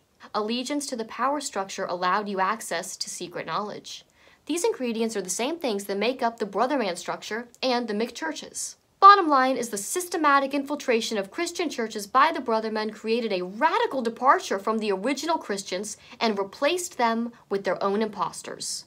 Brother men are told to carry the Temple of Solomon in their hearts. The New Age, Brother Manri's daughter religion, uses very similar terminology. I did a video on Saint Germain a very long time ago, but his attributes, actions, and importance throughout history suggest he is behind many influential occultists guiding humanity to his end goal. Saint Germain is just another name of many for Gadrael or Lucifer the father of lies and of the mysteries. The threefold flame of Saint Germain is the presence of God anchored in your heart. It is the presence of God within you. The flame that burns within your heart is the cosmic seed of consciousness. Temple of Solomon, threefold flame, whatever they want to call it, it's the same thing. They know the third temple is spiritual, not physical. The very people giving churches their false doctrines about building a third temple don't believe it themselves. This central chamber, called the altar of the heart, is thus the connecting point of the mighty silver cord of light that descends from your God presence to sustain the beating of your physical heart, giving you life, purpose, and cosmic integration. The Catholic Church has been using the threefold flame for centuries in the heart of their Jesus figure. This Jesus is also the teacher of the Piscean Age and Saint Germain's holy brother. The threefold flame can be seen in many other Brother Man locations, like the Statue of Liberty. Elizabeth Clare Prophet gives us the New Age meaning of the statue. This flame of liberty inspired the building of the Statue of Liberty. This statue does not just represent the country of America, but for all who carry the threefold flame, the flame of freedom in our hearts. Even the Dallas Theological Seminary has the same threefold flame of St. Germain. The threefold flame represents the light of Gadrael, of Lucifer, who wants to be in your heart, which is supposed to be the temple of Yah. Hosea 10.2 describes the hearts of the Israelites who followed pagan gods while claiming to follow the one true God. Their heart is divided.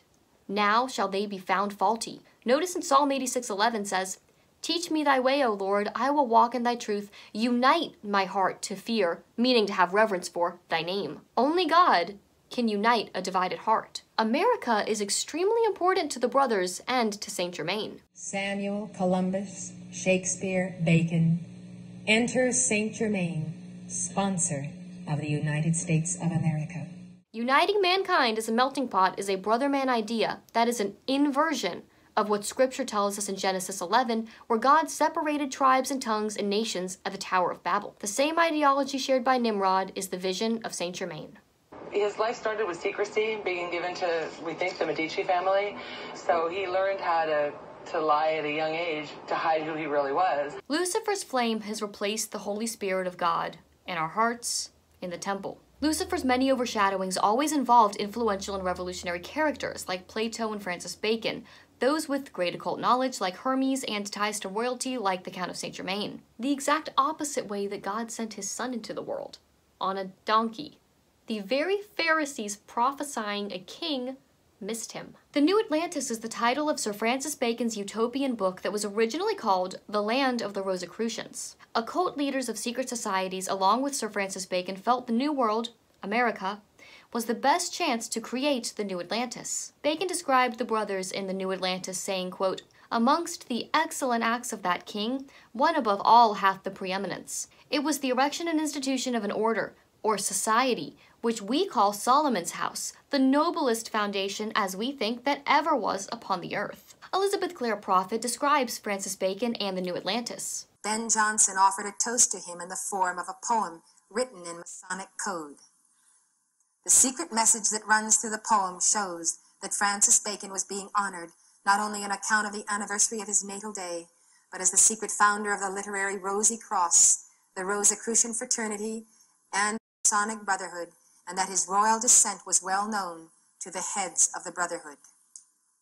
That would explain why Bacon's New Atlantis was reported to contain the key to modern Masonic rituals. It is widely accepted that America is the new Atlantis. And here we are at the last point in our chart, the New Atlantis, America. She goes on to say America is Jerusalem recovered and New Atlantis reincarnated. To answer this, we must consider four things. First of all, the role of the Masons in the American Revolution. Second, the Masonic symbology in our Great Seal and flag. Third, the mystery of Bruton's Church in Williamsburg, Virginia. And four, the wave of religious fervor of the Great Awakening and millennialism.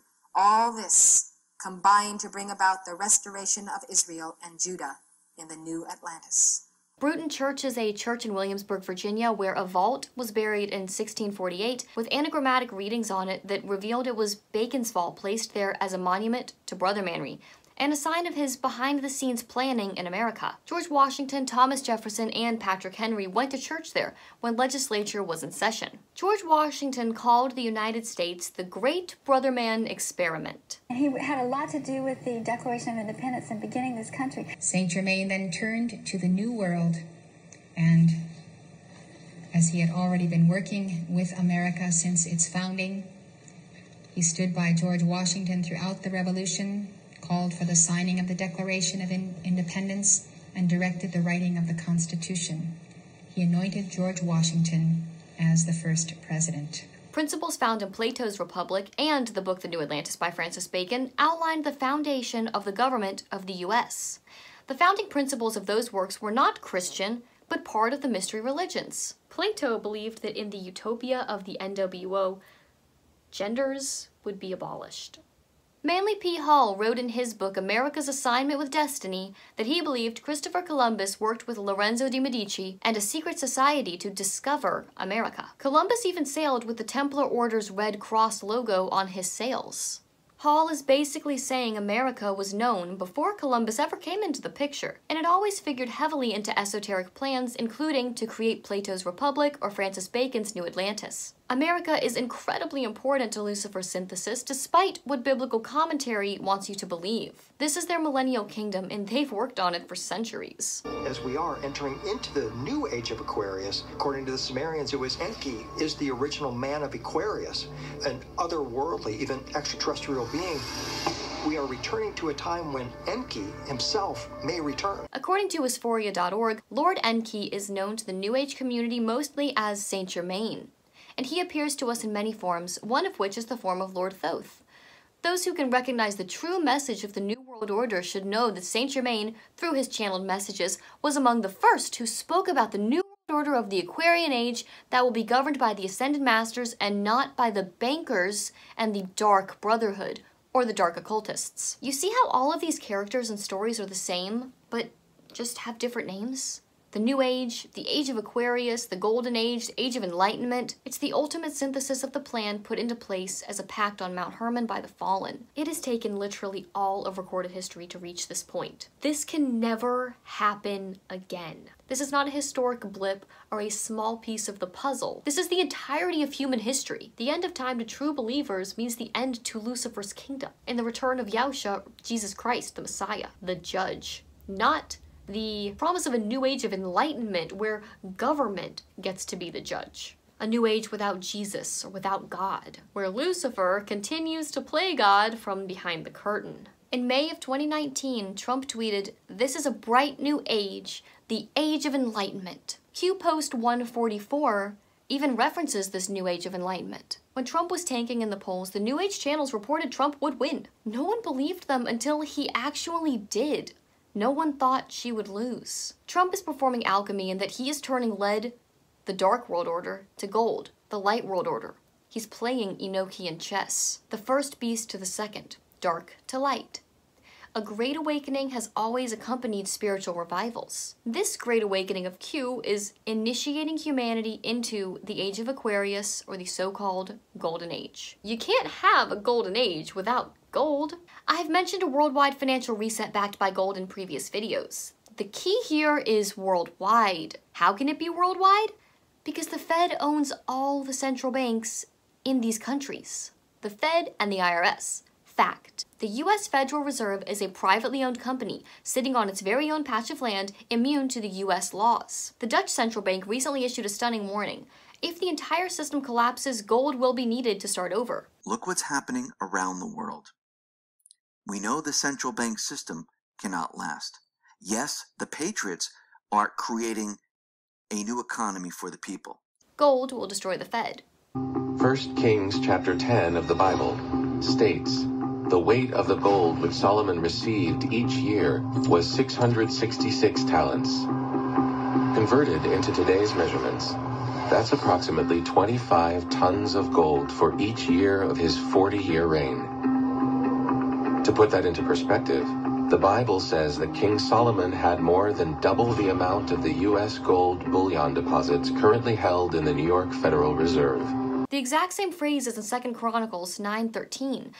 God does not repeat himself without reason. Revelation 13:18 says, "Here is wisdom. Let him that hath understanding count the number of the beast, for it is the number of a man, and his number is 666." The number of the beast is the number of a man. The man is Solomon, and his number is 603 score and six of gold. The New Age claims that the Saint Germain World Trust is comprised of gold, silver, and precious gems, and that Saint Germain is the one behind NESARA or GESARA, or the financial reset leading to presumed world peace and prosperity. Disinfo sites about NESARA and GESARA are owned by the Shrubbery family and comprise most indexed sites on Google. Trump, with the help of the light faction within the military, has done more to implement Saint Germain's debt forgiveness than any other president. NESARA and GESARA will bring in a one-time debt jubilee where all debt is forgiven. The Fed controls central banks who sell your debt, student loans, and mortgages to institutions or governments, and it is on the verge of collapse thanks to Trump pushing them. No Fed, no debt. But debt is an entirely different topic for another day. But since the Fed owns the IRS, it will also supposedly be dismantled under NESARA and taxes will be returned to the people, which is, in my opinion, what most consider the mark of the beast. I've discussed this in my previous videos, but everything we've talked about, replacing the truth with mystic teachings, is the great falling away. Apostasy. An apostasy is a rebellion and abandonment of truth. Let no man deceive you by any means, for that day shall not come except there come a falling away first, and that man of sin be revealed, the son of perdition, who opposeth and exalteth himself above all that is called God, or that is worshipped, so that he, as God, sitteth in the temple of God, showing himself that he is God. Do you not know that you are God's temple, and the God's Spirit dwells in you? If anyone destroys God's temple, God will destroy him. For God's temple is holy, and you are that temple. And the son of perdition is not a man, it is the spirit of Belial, the spirit of Antichrist, the destroyer or the worthless one. While I was with them in the world, I kept them in thy name. Those that thou givest me I have kept, and none of them is lost, but the son of perdition, that the scripture might be fulfilled. Jesus was talking about Judas. And the chief priests and scribes sought how they might kill him, for they feared the people. Then entered Satan into Judas Iscariot, being of the number of the twelve, and he went his way and communed with the chief priests and captains, how he might betray him unto them. Belial possessed Judas. The Antichrist spirit, the son of perdition, killed Jesus. Belial's long reign as the first beast of the sea, the Cabal, from Revelation 13, is over. The son of perdition is being revealed to the public for the first time in history. The Cabal is being taken down, and all of his secrets of mind control, ritual abuse, and child sacrifices are being revealed. Even though they're being revealed, yes, that makes sense with the way that the second beast is described. However, judgment belongs to God alone, not the second beast, the light world order. There are only two choices to make in who we choose to follow the plethora of religions based on the original lie of Lucifer, or the truth. This is the most important decision we can make. What separates the wheat from the chaff? The true believers, the ones who keep the commandments of God and the faith in Jesus, and the fake believers, the ones who claim to be Christians but still follow the world and everything in it. One of the last prophecies in the book of Revelation gives us the outline of the things we must overcome in this lifetime. The beast, or the dragon, that old serpent, or Lucifer's, image, his name, and his number. Revelation 13:17 says, And he causeth all, both small and great, rich and poor, free and bond, to receive a mark in their right hand or in their foreheads, that no man might buy or sell save he had the mark, or the name of the beast, or the number of his name. This verse says that all people will receive a mark, or the name of the beast, or the number of his name. This doesn't mean three different things, it's just different versions of the same thing. The mark is a spiritual sign that shows who you belong to. God also marks those who belong to him. Exodus 13:9 says, And it shall be for a sign unto thee upon thine hand, and for a memorial between thine eyes, that the Lord's law may be in thy mouth. And Exodus 13:16, And it shall be for a token upon thine hand, and for frontlets between thine eyes. Strong's Concordance shows that one of the translations for sign and token is mark. God seals his children with his mark, and the scriptures show that the mark is figurative, not literal. Like some bio RFID chip. That's a cabal brother manic lie to make the blind tares believe they see. People will no doubt be deceived when the financial reset happens because they won't be forced to get a chip, and they'll think that taking the money is okay. Of course, I don't have any details of how it'll play out, I'm not a prophet. I'm just watching the signs. Revelation 15:2 talks about those who had gotten the victory over the beast and over his image and over his mark and over the number of his name. The beast is Lucifer or Gadrael, right? The angel who deceived Eve in the garden and showed her the forbidden tree of knowledge of good and evil. Gnosis, or salvation through knowledge, is the path that leads to death. The only true salvation is through Yahushua Jesus Christ. We must also overcome the image of the beast. I have discussed this as well in my video, What is the Image of the Beast? But if you haven't seen that one, my opinion is Q fits the bill for the image.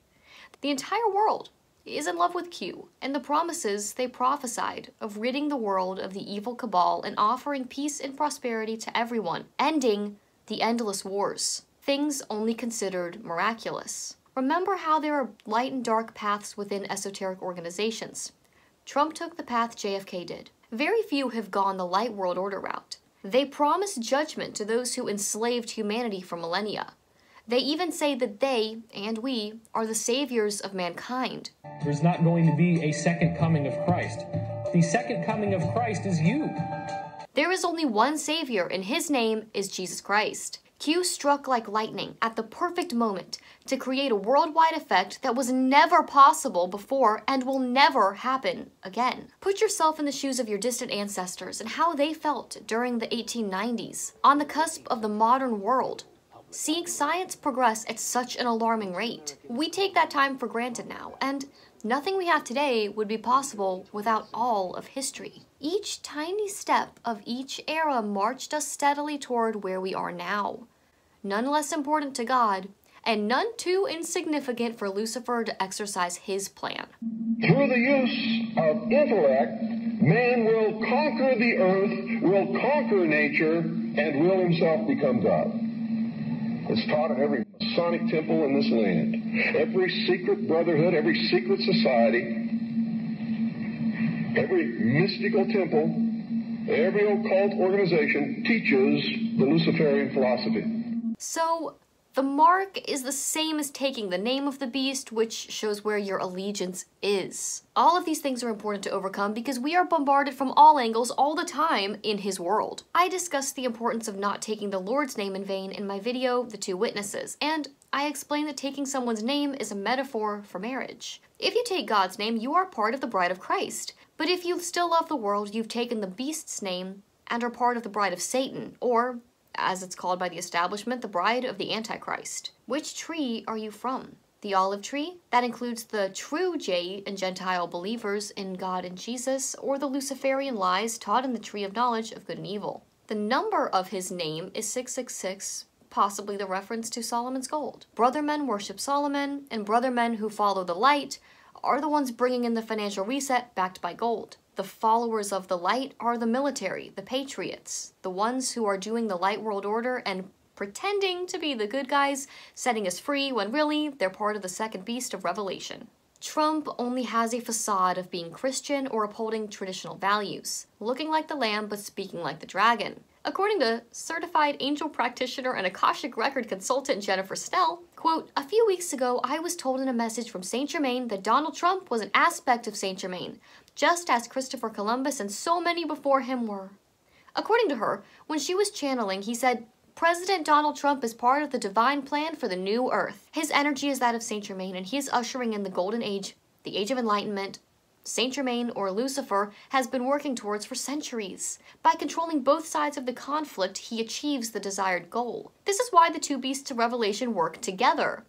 This is the reason it appears Trump is a hero and is taking down the evil cabal, or the first beast, since the second beast exercises all the power of the first. No, there is no making America great again, for it was never great.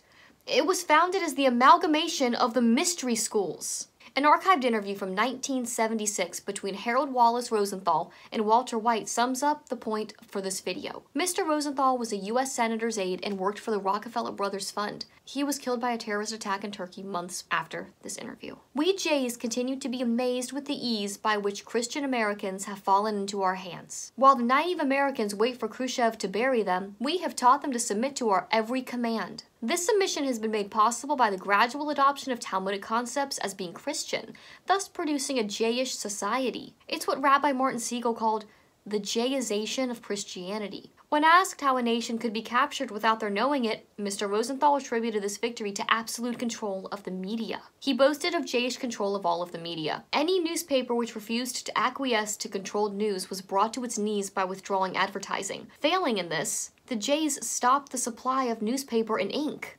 It's a very simple matter, he stated. Rosenthal, in exposing certain aspects of the inner invisible world of Jayery, revealed the modes and tactics Jays have used in destroying Christian civilization and covertly attaining control over our lives and governments. The result has been a hidden tyranny upon us like the tyranny waged against the saints by the Red Beast system of revelation referred to as Mystery Babylon. We've just seen the evolution of the original lie from the garden from the beginning to the present day. So what do we do? I mean, the ideal answer is to either reject this godlike state by setting up our own governments, or opposing the state politically, setting up our own banking system, and so on, but we passed that point long ago. All we can do is reject it passively by exposing its false godhood. It has become increasingly difficult to free ourselves from the order, as it is constantly trying to mold us into the slaves it wants. Those who are the children of God are of the kingdom of God where He is the king in our lives. If He's not your king, you are not of His kingdom. We are free. Remember that John 8:32 says, "Ye shall know the truth, and the truth shall make you free." Everyone under the confusion of Lucifer is in chains. By that definition, everyone in the establishment hierarchy are slaves. They have all the money, all the land, all the fame, and all the power, but they are the slaves. We have something they never will freedom. Don't be afraid of deprogramming, and don't be afraid of questioning God. Remember, truth is truth, it can withstand questioning. Most people run into slides, dialectics, disinfo programs, spoon-feeder agents, smokescreens, controlled oppositions, or flat-out lies that throw a wrench in people's search. But before throwing out the baby with the bathwater, assuming that the almighty truth contradicts a new piece of information, make sure that new piece is true. It is more likely that you've been deceived by the countless organizations working tirelessly to destroy God. That brings me to how much confusion might be felt on your journey of breaking out. But don't lose hope. God is not the author of confusion. With as much time, energy, and effort as the cabal and the alliance, the establishment, have made to destroy and kill God, ask yourself, why?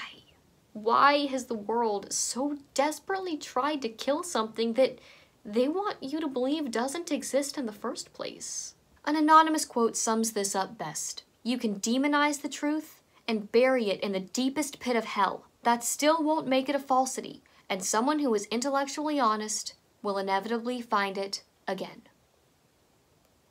Thank you all for watching this video. I will see you next time. Bye.